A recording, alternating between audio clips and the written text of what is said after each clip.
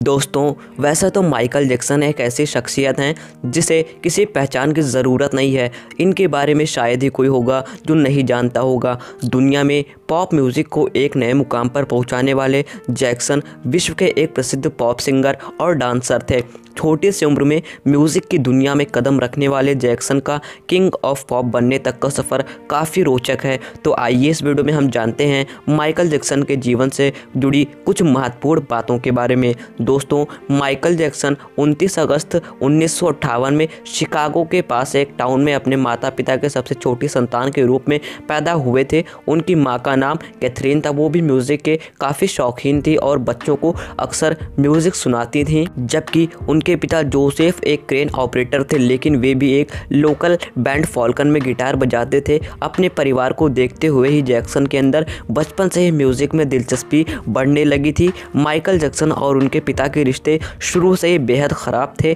एक इंटरव्यू में जैक्सन ने अपने पिता के हिंसक स्वभाव का ज़िक्र करते हुए बताया था कि उनके पिता उनके भाइयों और उनको पैसे कमाने की एक मशीन समझते हैं। इसके साथ ही उन्होंने कभी अपने बचपन नहीं जीने की भी बात कही थी। वे बचपन में घर पर करीब तीन घंटे तक ट्यूशन टीचर से पढ़ाई करते थे। इसके बाद स्टूडियो में घंटों रिकॉर्डिंग करते थे और फिर थक कर सो जाते थे एवं बचपन में वे खेलने के लिए तरसते थे।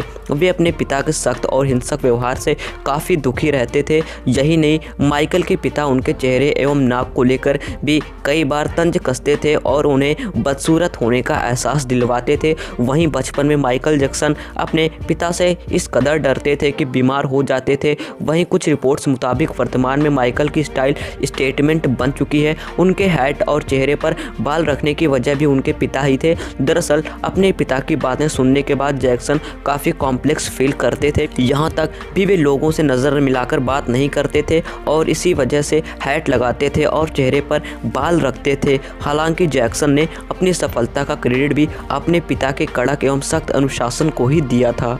पॉप सिंगिंग एवं अद्भुत मून वॉक के लिए पहचाने जाने वाले माइकल जैक्सन ने 18 मई उन्नीस सौ पंचानवे में 35 साल की उम्र में लिसा प्रेसली से शादी कर ली। हालाँकि उनकी यह शादी ज़्यादा दिनों तक नहीं चल सकी। 18 जून उन्नीस सौ छियानवे में दोनों ने एक दूसरे से तलाक भी ले लिया। इसके कुछ दिनों बाद ही माइकल अपनी नर्स डेबी रो के साथ शादी के बंधन में बंध गए। शादी के बाद दोनों को प्रिंस माइकल जैक्सन जूनियर और पेरिस माइकल कैथरीन नाम के दो बच्चे पैदा हुए। हालाँकि उनकी दूसरी शादी शादी भी ज़्यादा दिन तक नहीं चल सकी। उन्नीस सौ निन्यानवे में दोनों के बीच तलाक हो गया, लेकिन तलाक के बाद बच्चे माइकल के पास ही रहे। माइकल ने महज पाँच साल की उम्र से ही अपनी अद्भुत सिंगिंग टैलेंट को दिखाकर लोगों को आश्चर्यचकित कर दिया था। उन्होंने अपने पिता जो जोसेफ के डायरेक्शन में अपनी बड़े भाइयों के साथ जैक्सन ब्रदर्स बैंड से म्यूज़िक की दुनिया में अपना कदम रखा था। मोटाउन रिकॉर्ड्स ने माइकल के अनोखे डांसिंग और सिंगिंग की प्रतिभा को देखते हुए कम उम्र में ही साइन कर दिया था। उन्नीस में जैक्सन के के बैंड का नाम बदलकर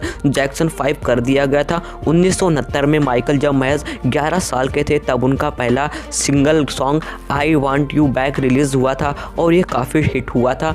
इसके बाद 1970 में माइकल के द लव यू सेव और इट बिल बी देयर गाने के मार्केट में धूम मचा दी और फिर उन्होंने अपने करियर में कभी पीछे मुड़कर नहीं देखा। साल 1975 में माइकल जैक्सन एक एपिक रिकॉर्ड से जुड़ गए और अपने ग्रुप का नाम बदलकर जैक्सन्स कर दिया। इस दौरान उन्होंने शेक योर बॉडी और इन्जॉय योर सेल्फ जैसे हिट पॉप गाने गाकर सफलता के एक नए आयाम रचे। साल उन्नीस में माइकल जैक्सन ने एपिक रिकॉर्ड के साथ मिलकर अपना पहला solo album off the wall निकाला। इस एल्बम में rock with you don't stop और टिल यू गेट इनफ जैसे सुपरहिट पॉप गाने शामिल थे। ये एल्बम भी लोगों द्वारा काफ़ी पसंद किया गया। इस एल्बम की करीब सात मिलियन कॉपी मार्केट में बिकी थी। जैक्सन की कामयाबी का सिलसिला लगातार बरकरार था और उन्होंने इसके तीन साल बाद साल उन्नीस में अपना दूसरा सोलो एल्बम थ्रिलर रिलीज़ किया। इस एल्बम में बेटिट और बिली जीन जैसे सुपरहिट पॉप सॉन्ग्स ने उन्हें दुनिया के सबसे पॉपुलर सुपरस्टार बना दिया। उनके इस एल्बम के गाने कई सालों तक टॉप रैंकिंग पर रहे। इसके साथ ही उनका थ्रिलर एल्बम अब तक के सबसे ज़्यादा बिकने वाले एल्बमों में से एक है। इसके बाद माइकल जैक्सन ने अपने बैड एल्बम में dirty Diana man the mirror जैसे सुपरहिट पॉप सॉन्ग्स से आसीम सफलता हासिल की। माइकल जैक्सन ने साल 1990 में अपना चौथा एल्बम डेंजरस बनाया। इस एल्बम ने भी काफ़ी प्रसिद्धि हासिल की। इसके करीब 20 मिलियन कॉपी बाज़ार में बिकी। दोस्तों, माइकल जैक्सन थ्रिलर एल्बम ने उन्हें उन्नीस सौ चौरासी में ग्यारह में से आठ ग्रेमी अवार्ड से सम्मानित किया गया। पॉप म्यूज़िक को एक नए मुकाम पर पहुँचाने वाले जैक्सन को उन्नीस सौ सतासी में किंग ऑफ़ पॉप की उपाधि से भी नवाजा गया। माइकल को अपने एल्बम बैड के लिए चार प्लेटिनम सर्टिफिकेट मिले, जबकि उनके थ्रिलर एल्बम को 20 प्लेटिनम से सर्टिफाइड किया गया था। माइकल जैक्सन को अब तक के सबसे ज़्यादा अवार्ड्स मिले हैं। इसके अलावा उन्होंने अपने नाम पर तेईस गिनीज वर्ल्ड रिकॉर्ड्स भी दर्ज किए हैं।